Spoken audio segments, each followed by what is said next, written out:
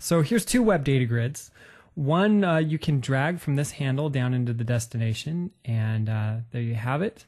So if you keep dragging the rows, it'll populate the destination grid. And once the rows are completely gone from the source grid, that grid disappears. So what this does is it harnesses our web drag and drop framework as well as the web data grid. So let me go ahead and show you how it's done. Here we are in Visual Studio with a brand new web form. Nothing's been added to it yet. And so let's start by adding in a script manager. So we'll throw that on there. And then we'll also be using two web data grids. So we'll put one on and another. So I'm going to drop into the source and we'll do a couple things. I like small IDs on my controls, so we'll do that. This web data grid will be the WDG source and the next one will be WDG destination. And I want to get rid of these size uh, attributes here. So that gives us a couple web data grids. Now, one of the first things we need to do is customize the script manager. We need to be able to bring in our script references for the drag and drop framework. So here's the script reference for the Infragistics uh, 9.1 drag and framework. And what I'm going to do here is scroll across the screen here, and you can just press pause if you need to copy it down for your application. So the next thing we need to do is customize the markup for our grid. So let's start with the source here. We're going to handle uh, the columns ourselves. We want to set auto generate columns equal to false. And then instead of using this, I'm going to paste in some column information. And I'll just fix the formatting real quick. So you notice here we've got a, uh, a template column, and all we're doing is putting in an anchor tag. And we're giving it an ID of source dash and then the primary key value of each one of the, the data objects that comes in. So we're just sticking the drag, word drag in there. You could put an image, you could do whatever you want. After that, we've just got regular bound fields. So we're looking for the first name and the last name, and obviously the data field name and the key need to be set up correctly as well. For the destination data grid, uh, it's very much the same. It's basically uh, the same setup, except we're not using any of the drag handles. So we just need auto-generate uh, columns to false here. And again, you can see that we've got the bound columns for the first name and the last name. So now that we have those, let's go ahead and populate them with some data. So what I'll be using to provide data for the grids is the person repository. It inherits from the fake repository class, which basically generates fake data for us and persists it in the session while we're doing this, so we don't have to worry about handling any databases. So um, we'll create a, a private instance of this variable. We'll call this one source. And the next one will be destination. Now on page load, there's just a couple things that we need to do. This is completely for this demonstration's purposes. You'll have other strategies for dealing with this when you're implementing in your application. Um, but I'm going to create a new instance of uh, the source. And um, I'm just passing in uh, a persistence key so it knows how to find it when it's pulling it out of session. So this will just be source and then uh,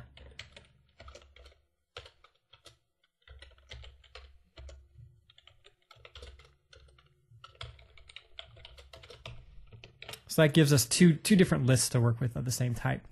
And the next thing I'm going to do is run a method that will allow us to generate some fake data. And uh, let me just paste this in here real quick. So all that's happening is that it's looking at our, our, our fake repository and looking to see if we have any items. If it's not, then it's inserting some objects for us. Uh, basically, the all of the source um, names start with a J, and all of the destination names start with an S. So you can kind of tell them apart on the screen when we're looking at them.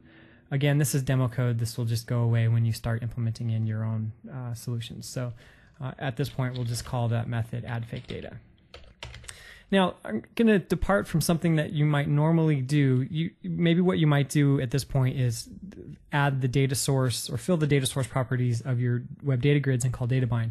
I don't want to do it in page load. I want to defer that to later in the page event lifecycle, and I want to do it on page pre-render. And the reason for that is is because if you if you remember the page event lifecycle, load happens first, and then any of the events that are fired from controls that are on the page, those all fire next, and then at the end, the pre-render was one of the last events to fire. So this method here will allow us to only data bind to our controls once all of the manipulation has been done. So from here, what we can do is uh, go to the web data grid source and set the data source, and then we'll call data bind.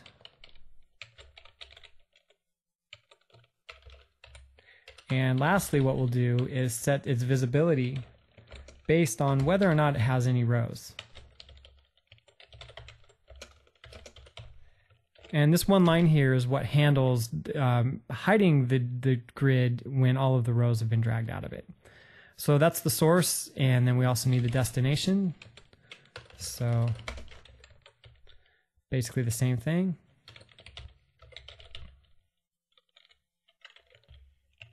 Okay, so let's check it out and make sure that we have grids with some data in it. Perfect. Okay, so you can see we haven't set up the drag and drop behavior yet. That's one of the next things that we need to do. So let's go back up to our markup. And at this point, what we want to do is start writing some of the JavaScript. So I'm going to put this down at the bottom of the page because we'll use uh, ASP.NET Ajax to load to hook into the load of the page.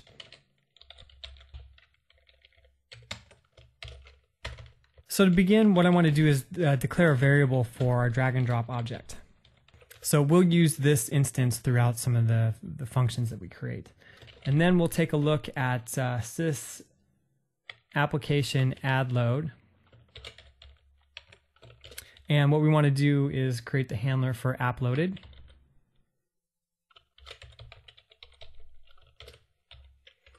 And then we can come down here and create the function app loaded.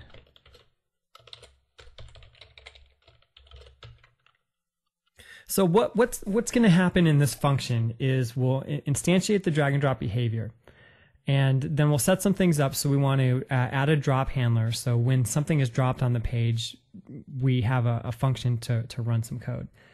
So what we're going to do is is return up a comma delimited list of the primary key values that are in our data objects. And what that will allow us to do is loop through each one of those items because if you remember up in the grid, those IDs are what we used right here in order to, to identify the anchor tag. Well, we'll return up that list so we can loop through them in JavaScript and then we, we, we know what we're going to be finding on the page. So uh, let's go ahead and start by just uh, getting some things set up. So we've got the drag and drop behavior. We want to set that in equal to a new instance of the IG drag and drop behavior. So that, that will be kind of the manager for everything that we do. And then we'll create a, a drop handler go to the get events and add a drop handler. So we'll just call this function drop. And just to keep everything clear, so what we're doing is creating a function called drop.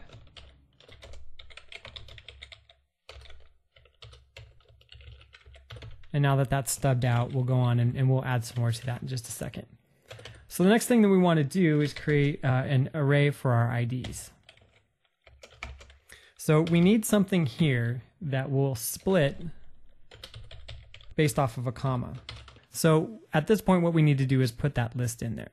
So let's come back to our code behind. And what I want to do is create a, a property.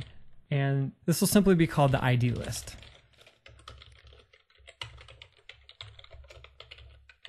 And so what we'll do is return the source IDs. So from our source repository, we want to get the list of all the IDs that are selected.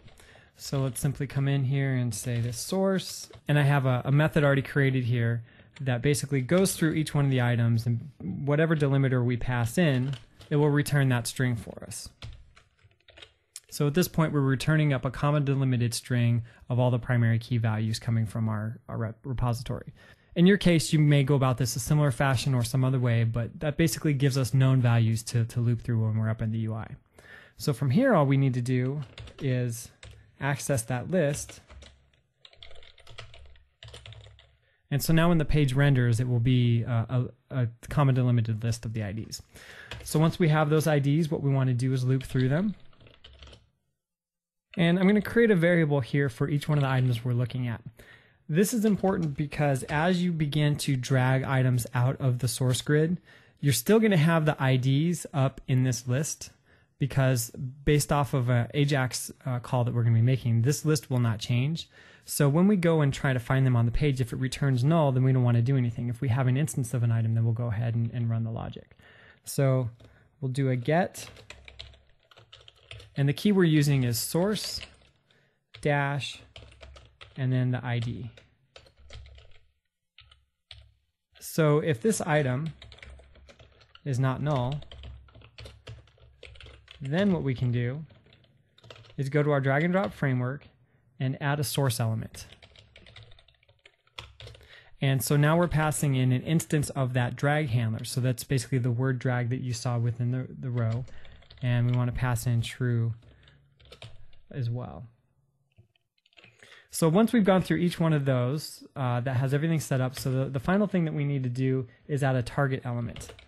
So let's go to our, our behavior again, add a target element, and basically we just need to pass in an instance of something that you can drop to. So we'll do a get on drop destination. So to create something that matches the drop destination, we'll come back up to our markup and just wrap our, our destination data grid within a div.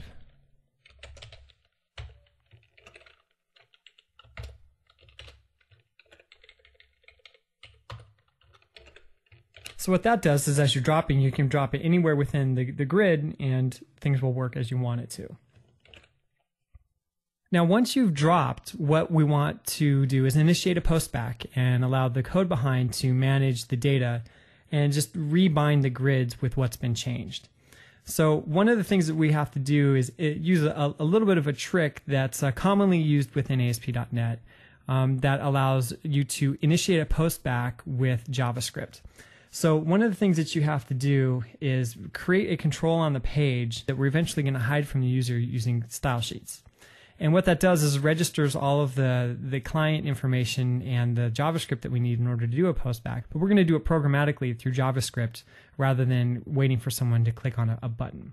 So to create that hook that we need, I'm going to come right over here and after our div, create a link button. I'm going to call this person and I don't want to pass in any text and let's do run it server. Now for the onClick, it's going to be a little weird, and it's either going to be weird here in the code behind, but it seems to make more sense to keep it consistent in the code behind. I want it to run the person drop method. So what we'll do is use the hooks that this link button creates for us in order to run a method on the code behind when the item is dropped on the grid. So the other only other thing we want in order to hide it from the user for sure is to come up and create a style here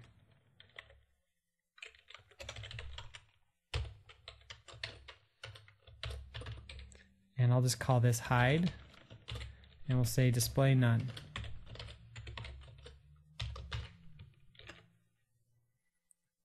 So now we can do CSS class hide.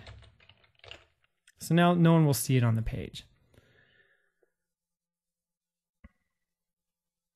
So in the code behind what we want to do is have a function or a method called person drop. And within here, all we need to do is the data management. So before we can implement any of that code though, we need to know the ID of the item that we're looking at. So the easiest way to do that is to create a hidden input field that will contain the primary key value or the ID of the item that we're looking at. So let's go back to the markup and we'll come up to right here and we'll create that, that hidden input. And uh, we'll just call this person ID because that's what will be tucked in here. And if I make this run at server, then I will have access to it in the code behind. So in JavaScript, what we'll do is fill this input element with the information that we need. So we know that we'll have it. Let's come back down and we can start doing our server processing with it. So the first thing we need to do, it's going to come as a string. We have to convert it to an integer. So what we can do is take a look and see if it parses as an integer, then uh, things will go well for us.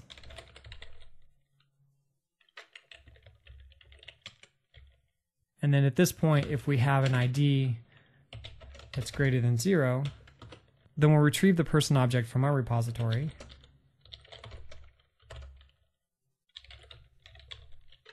So we'll do a get by ID, passing in the ID. Now we have an instance of the person. We can remove it from the source.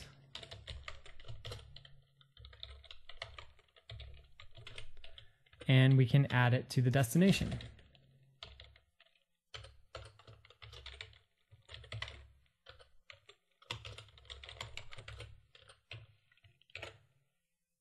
So the last piece that we need is the JavaScript to make the, the drop behavior happen. So let's come back over to the JavaScript and we can put that in there. So to start with, what we need is a reference to the source item that's been dropped. So let's create a variable for that. We're going to take a look at the event args and we're going to do get manager. And this is the drag and drop manager. Then we want to find the source and from there, we want to look at the source element. So now we have a reference to the instance of the item that we just dropped. And then we need to find its ID. Now, if you remember, the, the, the ID attribute of this element has source dash ID.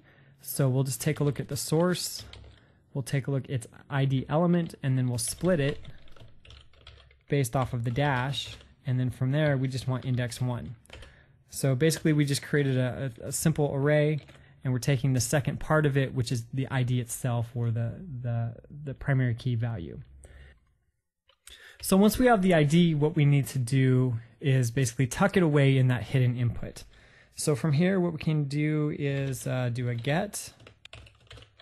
We'll sit, and we'll just flesh this out first. Uh, value equals ID. And so the, the client ID that we're looking for would be uh, person ID dot client ID. Now that the ID has been prepared to send back to the server, all we need to do is post back. So we'll do do post back, and we'll tell it that the initiating control is the person control, And at this point, we should be able to run it and see how it looks. So here's our two grids. We can drag from one to the other. You can see this is a drop destination. When I let go, we have a nice uh, Ajax updating. We can keep dragging, and as soon as we're out of items in that top grid, it goes away. So I know your approach will probably be different on how you handle the data and do some of these other things, but this gives you a good idea of how you can access the items within the grid and do the processing in the background. So I hope you found this useful. Infragistics. On the web at infragistics.com.